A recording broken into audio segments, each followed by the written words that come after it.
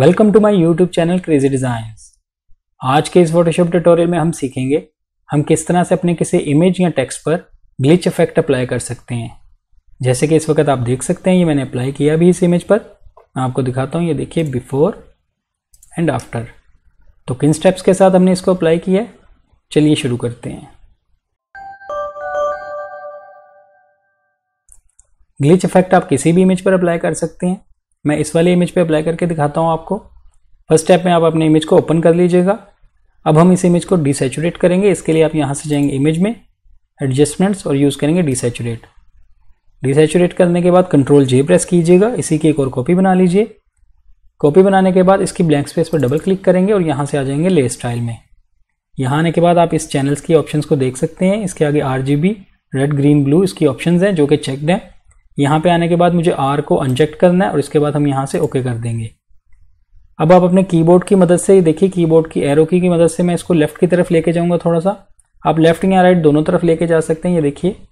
मैं इसको तीन दफ़ा प्रेस करता हूँ और लेफ़्ट की तरफ़ लेके जाऊँगा। सॉरी राइट की तरफ़ लेके जा रहा हूँ मैं इसको। ये करने के बाद अब हम यहाँ से रेक्टेंगल मार्क की टूल सेलेक्ट करेंगे और इस तरह से इसकी एक सिलेक्शन बनाएँगे। हमें ग्लिच इफ़ेक्ट क्रिएट करना है। ये सिलेक्शन बनाने के बाद अब अपने कीबोर्ड से वी प्रेस कीजिएगा। इस मार्केट टूल के सिलेक्शन के अंदर रहते हुए देखिए, आपको कट का निशान भी दिख रहा होगा और आप इसको यूँ इस तरह से माउस से मूव कर सकते हैं। राइट की तरफ़। कंट्रोल डी प्रेस कीजिएगा। ये देखिए, यहाँ पे आपको इफ़ेक्ट दिख रहा होगा। मैं जूम इन करके दिखा देता हूँ। इस तरह से इसको मल्टीपल टाइम्स हमें करना है। फिर से हम मार्केट टूल सेलेक्ट करेंगे। इस बार मैं यहाँ से बनाता हूँ। इतना, और वी प्रेस करेंगे। और इस बार मैं इसको लेफ़्ट की तरफ़ लेके जाता हूँ। फिर से मार्केट टूल सेलेक्ट करते हैं। और इस बार मैं यहाँ तक लेके आऊँगा इसको। फिर से वी प्रेस करेंगे और इस बार मैं राइट की तरफ़ लेके जाता हूँ थोड़ा सा। इस तरह हमें मल्टीपल टाइम्स इस पर अप्लाई करना है।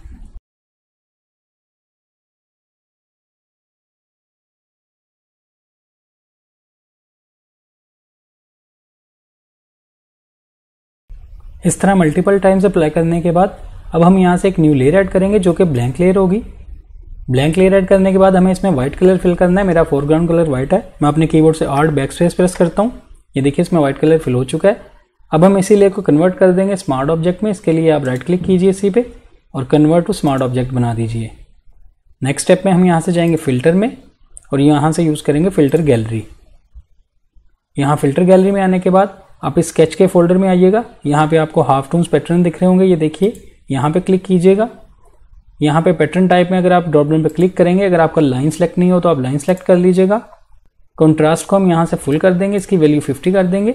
और साइज़ को आप यहाँ पे दो से तीन रख सकते हैं, मैं फ़िलहाल दो ही रखता हूँ। और इसके बाद हम यहाँ से ओके कर देंगे।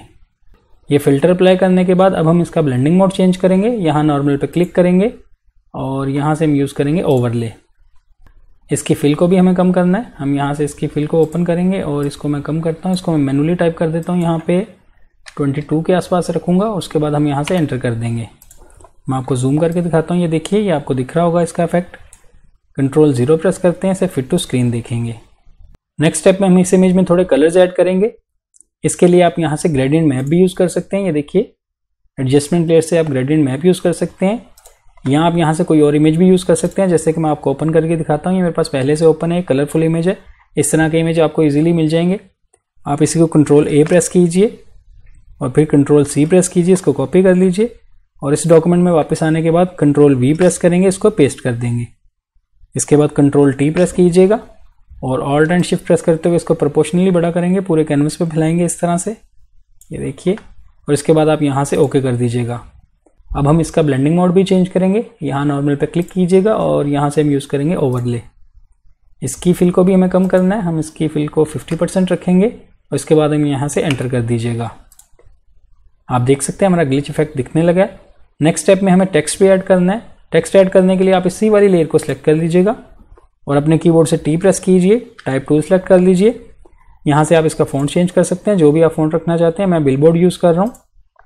आप कहीं भी क्लिक कीजिए और जो भी टाइप करना चाहते हैं आप कर लीजिए। मैं यहाँ पे ग्लिच ही टाइप करता हूँ। इसके बाद यहाँ से ओके कर देंगे। अब मैं इस फ़ोन को कंट्रोल टी प्रेस करते हुए इसको इंक्रीज़ करूँगा इसका साइज़ क्योंकि मुझे इसको रेस्टराइज करना है। बाद में एज अ फ़ोन यूज़ नहीं करना। ये देखिए, मैं इसको इतना रखता हूँ और इसके बाद हम यहाँ से एंटर कर देंगे। अब इसी लेयर पर राइट क्लिक करेंगे और इसे यहाँ से रेस्टराइज टाइप कर देंगे। अब ये टेक्स्ट नहीं रहा। अब ये रेस्टराइज हो चुकी है लेयर अब हम कंट्रोल जे प्रेस करेंगे और इसी लेयर की एक और कॉपी बना लेंगे। ये देखिए। कॉपी बनाने के बाद इसी लेयर की इस ब्लैंक स्पेस पर डबल क्लिक करेंगे। और सेम प्रोसेस है जो कि हमने उस वाले इमेज के साथ किया था। यहाँ से इसके रेड को हम बंद कर देंगे चैनल को और ओके कर देंगे यहाँ से। और इसको भी हम राइट की तरफ़ लेके जाएँगे। ये देखिए, मैं थोड़ा सा और ले जाता हूँ राइट की तरफ़। और नीचे वाला जो टेक्स्ट लेयर है, अब वो रेस्टराइज हो चुका है। इस लेयर पे हम डबल क्लिक करेंगे। और ले स्टाइल में आने के बाद इस बार हम रेड को नहीं बंद करेंगे। ग्रीन और ब्लू को बंद करेंगे। ये देखिए मैं ग्रीन और ब्लू को अनचेक कर देता हूँ और इसके बाद हम यहाँ से ओके कर देंगे। आप देख सकते हैं मैं थोड़ा जूम इन करके दिखा देता हूँ। ये देखिए दोनों कलर्स दिख रहे होंगे आपको। अब फिर से ऊपर वाली लेयर को सिलेक्ट करेंगे। अब फिर से यहाँ से रेक्टेंगल मार्क की टूल सेलेक्ट करेंगे। और सेम प्रोसेस है जो कि हमने इमेज के साथ किया था। हम इसकी भी ये देखिए सिलेक्शन बनाएँगे इस तरह से। और इसको मैं लेफ़्ट की तरफ़ लेके जाता हूँ थोड़ा सा।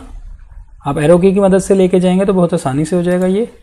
फिर से इसको डी सेलेक्ट करेंगे कंट्रोल डी प्रेस करते हैं और मैं यहाँ से इस बार इतनी सिलेक्शन बनाऊँगा। फिर से वी प्रेस करेंगे और थोड़ा सा और ले जाता हूँ। और इस बार मैं यहाँ से सिलेक्शन करता हूँ इसकी और राइट की तरफ़ लेके जाऊँगा। और मैं वी प्रेस करूँगा और ये देखिए यहाँ लेके जाते हैं। इसी तरह एक दफ़ा और अप्लाई करता हूँ इस पर ये देखिए, इस तरह से अप्लाई कर दीजिएगा। अब हम कंट्रोल डी प्रेस करेंगे और इसको डी सेलेक्ट कर देंगे। अब हम कंट्रोल ज़ीरो प्रेस करेंगे, इसे फिट टू स्क्रीन देखते हैं। अब आप देख सकते हैं हमारा ग्लिच इफ़ेक्ट दिखने लगा है। अगर आप अपने इमेज पे और इस तरह के इफ़ेक्ट को अप्लाई करना चाहते हैं तो इसके लिए आप फिर से इमेज को सिलेक्ट कीजिए। और सेम प्रोसेस है। ये देखिए, मुझे यहाँ पे लग रहा था कि यहाँ पे भी अप्लाई करना चाहिए। मैं यहाँ पे थोड़ी सी सिलेक्शन बनाता हूँ। फिर से वी प्रेस करेंगे और यहाँ से भी मैं इसको राइट की तरफ़ ले आता हूँ। कंट्रोल डी प्रेस करेंगे और इसको डी सिलेक्ट कर देंगे। अब आप देख सकते हैं हमारा ग्लिच इफ़ेक्ट कंप्लीट हो चुका है। इस तरह इन स्टेप से अमल करते हुए आप अपने किसी भी इमेज या टेक्स्ट पर ग्लिच इफ़ेक्ट अप्लाई कर सकते हैं। आई होप आपको आज का ट्यूटोरियल अच्छा लगा होगा। वीडियो पसंद आई तो लाइक कीजिए। मेरे चैनल को सब्सक्राइब कीजिएगा। मिलते हैं नेक्स्ट वीडियो में एक न्यू ट्यूटोरियल के साथ। Thank you